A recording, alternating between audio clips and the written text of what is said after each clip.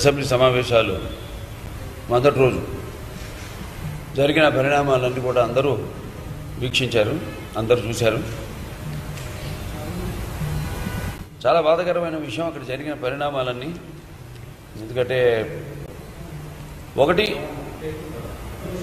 సజావుగా జరగవలసిన అసెంబ్లీ రాష్ట్ర యొక్క భవిష్యత్తు కోసం లేకపోతే రాష్ట్రం యొక్క అభివృద్ధి కోసం జరగాల్సింది అది జరగనివ్వకుండా అలా కాకుండా దాన్ని వేరే దృష్టి మరల్చి దాన్ని ఒక అదే ఎజెండాగా పెట్టుకుని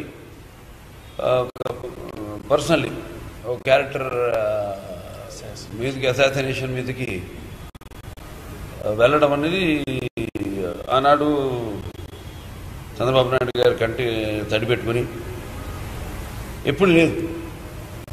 ఎప్పుడు చాలా ధైర్యంగా ఉండే మనిషి. ఆనాడు మరి ఒక జరుగుతున్న పరిణామాలు అక్కడ. అంతకుముందు ఎప్పుడో ఆ నెల క్రితమే అసలు ఎప్పుడు నాన్నగారి నుంచి కూడా ఒక సంప్రదాయం. ఏంటంటే ఎప్పుడు ఎస్ ఇష్యూస్ మీద పోట్లాడతాం. అసెంబ్లీ ఉంది అందుకే ఇష్యూస్ మీద పోట్లాడినప్పుడు ఇష్యూస్ వాళ్ళు తప్పు చేస్తే మనం వేలెత్తి చూపడం లేకపోతే వాళ్ళకి సూచనలు ఇవ్వడం లేదు వాళ్ళు మేము ఇచ్చిన సూచనలు మాకు నచ్చలేదంటే వాళ్ళు మా మీదకి అంటే బాలిక పాలిత పక్షం లేకపోతే ప్రతిపక్షం కానివ్వండి. ఒకళ్ళ ఒకళ్ళ మీద వాగ్వాదం చేసుకోవడం ఇది సహజం ఎప్పుడు జరిగేది.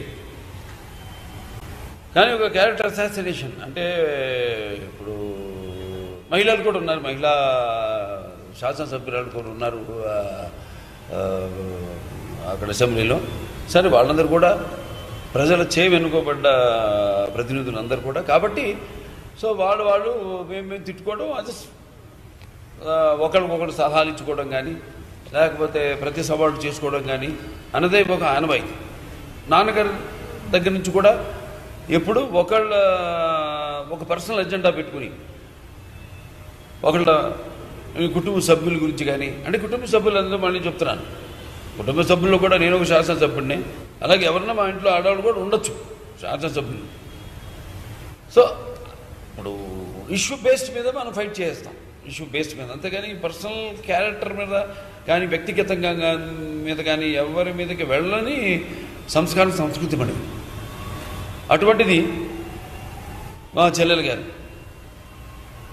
భువనేశ్వరి అంటే చంద్రబాబు నాయుడు గారి భార్య. ఆవిడ మీదకి పర్సనల్గా వెళ్ళడం అన్నది చాలా దురదృష్టకరం. వాడు వాడే భాష కానివ్వండి లేకపోతే వాళ్ళ వాచకం లేకపోతే ఆంగికం కానివ్వండి. ఆంగికం కూడా చూస్తే అసలు మనం ఎక్కడ గొడ్ల కొంపలో ఉన్నామా? గొడ్ల చావిట్లో ఉన్నామా? లేకపోతే అసెంబ్లీలో ఉన్నామా? అన్నట్టుగా ఉంది. ఎస్ నేను ఒక శాసనసభ్యుడిని నా మీద కూడా రావచ్చు. చంద్రబాబు నాయుడు గారి మీద కూడా వెళ్ళొచ్చు. కానీ ఇట్లా వ్యక్తిగతంగా ఇంటి ఆడవాళ్ళ మీద అంటే రాజకీయాలతో సంబంధం లేని లేకుండా ఆవిడ ఒక గౌరవమైన స్థానం ఉంది ఈ సమాజంలో. ఆవిడ హెరిటేజ్ నడుపుతుంది. మొన్న హిందూపూర్లో కూడా Heritage CSR funds desktop computers అయితేనేమి ప్రొజెక్టర్స్ అయితేనేమి హిందూపూర్ పంపడం జరిగింది. మేము వీళ్ళు చేశారు ఎవరైనా? రాష్ట్ర అభివృద్ధి గురించి వదిలేయండి. ఇటువంటి పనైనా చేశారు వాళ్ళు? దోచుకుని సొమ్మంతా ఇంట్లో చే- చేర్చడం తప్పితే? ఆడవాళ్ళు కూడా వాళ్ళ ఆడవాళ్ళు కూడా చీతరించుకుంటున్నారు అన్న సంగతి వాళ్ళకి తెలియదేమో. ఒకసారి వెళ్ళి ఆడవాళ్ళ వాళ్ళ ఇంట్లో ఆడవాళ్ళని అడగమనండి. వాళ్ళ గురించి వాళ్ళు ఏమనుకుంటున్నారు? వాళ్ళ ఇంట్లో అందరికీ ఒక త- తల్లులు ఉన్నారు అందరికీ పిల్లలు ఉన్నారు అందరికీ పిల్లలు చాలా.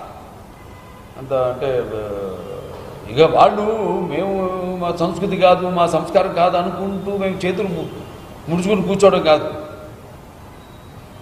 మనకి ఒక గుర్తింపు మనకి ఒక గౌరవం మనకి ఒక రాజకీయ చైతన్యం ఇచ్చారు రామారావు గారు. చంద్రబాబు నాయుడు గారు కూడా ఉమ్మడి రాష్ట్రంగా ఉన్నప్పుడు ఎంతో డెవలప్ చేశారు. అటు ఆంధ్ర రాష్ట్రాన్ని ఐదేళ్ళు ముఖ్యమంత్రిగా ఉన్నప్పుడు వెళ్ళారు.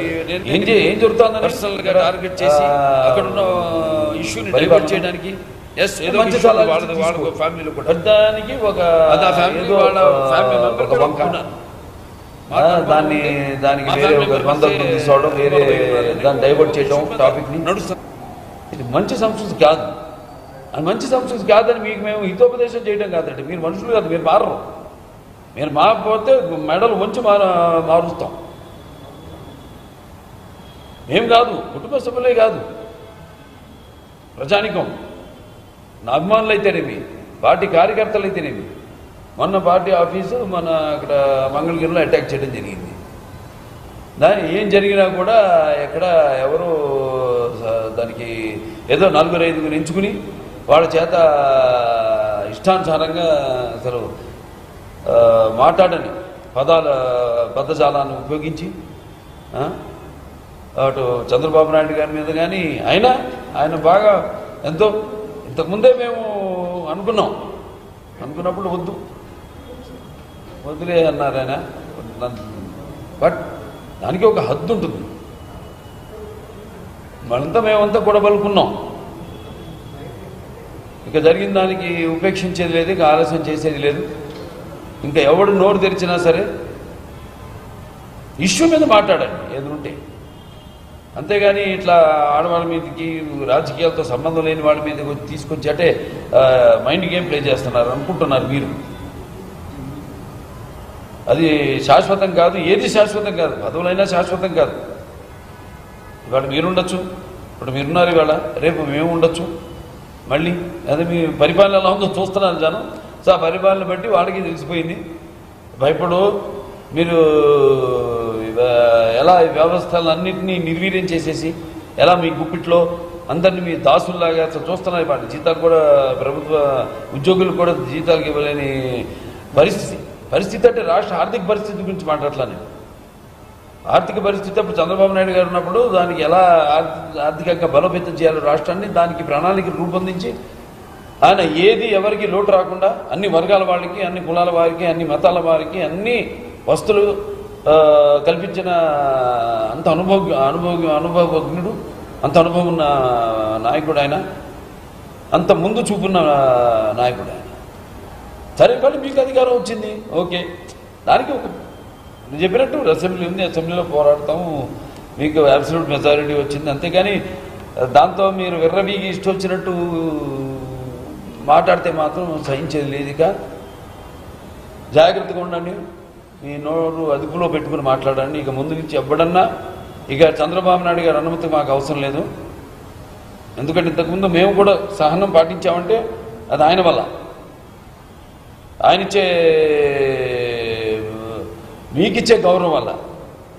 ఎందుకంటే మీరు ప్రజాప్రతినిధులు. ప్రజాప్రతినిధులు అన్నప్పుడు మీరు ప్రజల చేత ఎన్నుకోబడ్డారు కాబట్టి వాళ్ళ అవసరాలు తీర్చేవాడు కాబట్టి మీకు మంచి సలహాలు ఇస్తే వాళ్ళ అవసరాలు తీరుతాయి. వాళ్ళకి కావలసినవన్నీ సదుపాయాలు సమకూరుతాయి. అన్న దాంతో ఆయన ఆ పెద్దరికం ఆయనకున్న అనుభవంతో మీకు ఒక పెద్దరికాన్ని అంటగట్టారు. అది మర్చిపోకండి. ఇదే నా హెచ్చరిక. ప్రజల తరఫున నుంచి అయితేనేమి పార్టీ కార్యకర్తల తరఫు నుంచి అయితేనేమి నా అభిమానుల తరఫు నుంచి అయితేనేమి మా కుటుంబం తరఫు నుంచి అయితేనేమి ఇదే నా హెచ్చరిక. మళ్ళీ ఇటువంటి నీచం నికృష్ట పాపిష్ట కల్మష భూష్టమైన పదాలు వాడారంటే మాత్రం ఇంకా సహించలేదు లేదు. ఒక్కొక్కళ్ళ భర్తం భర్తం ఖబర్దార్. దేనికైనా ఒక అర ఒక అర ఒక హద్దు ఉంటుంది. నేను ఉంటాం అందరం కలుసుకుంటాం తిట్టుకుంటాం అసెంబ్లీలో నేను ఒక ప్రజాప్రతినిధి మళ్ళీ బయటకు వచ్చుకుని మాట్లాడుకుంటాం. ఎస్ అలా ఉండాలి కానీ ఒక ఆరోగ్యపరంగా ఆరోగ్యవంతమైన ఒక వాతావరణం ఉండాలి కానీ ఇలా ఏదో మేమే కదా మేము ఏ మీరు ప్రతిపక్షంలో ఉన్నప్పుడు మా దగ్గరికి వచ్చి మేము పని చేసి పెట్టలేదు. నేను అడగలా? నేను నేను నేనే నా నా హిందూపూర్కి సంబంధించిన పనులు ఏముంటే నేను అడుగుతాను. అడిగి చేయించుకుంటాం. వెంట పెడతాం. ఎందుకంటే మీరు ఇప్పుడు రూలింగ్లో ఉన్నారు. కాబట్టి రూలింగ్లో ఉన్నారనే కానీ నేను మేము రూలింగ్లో ఉన్నా ఒక ప్రజాప్రతినిధిగానే వెళ్తాను తప్పితే ఒక రామారావు రబ్బాయినో చంద్రబాబు నాయుడు గారి బావమర్దినో లేకపోతే చంద్రబాబు నాయుడు గారి వియ్యంకుండనో అది ఎప్పుడు నేను అలా ప్రవర్తించలేదు. అసలు అది మా సంస్కృతి కూడా కాదు తెలుగుదేశం సంస్కృతి. జాగ్రత్తగా ఉండండి మీరు ఏం మాట్లాడినా ఇక కొంచెం ఆలోచించుకుని మాట్లాడి మర్యాద ఇచ్చి పుచ్చుకోండి. ఇదే నా హెచ్చరిక మీ మీకు అందరికీ ఒకవేళ మళ్ళీ ఏదైనా మాట్లాడితే మాత్రం ఇక మీరు పెట్ అడ్డం పెట్టుకున్న చేసిన వ్యవస్థలు కానీ ఏవి మాకు మాకు అడ్డుగోడలు కావు వాటిలన్నింటినీ బద్దలు కొట్టుకొచ్చి మిమ్మల్ని మీకు గుణపాఠం చెప్తాం. అబర్దా